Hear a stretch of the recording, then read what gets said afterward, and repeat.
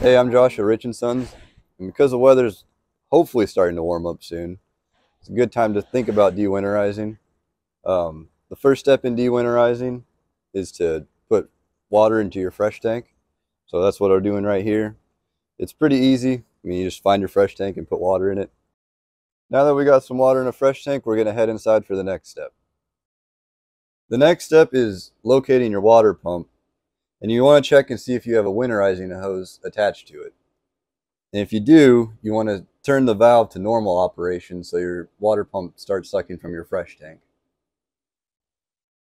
Okay, after we get our pump in normal operation, the next step is to turn on our water pump and then open every faucet on the hot and cold side until all the pink is gone.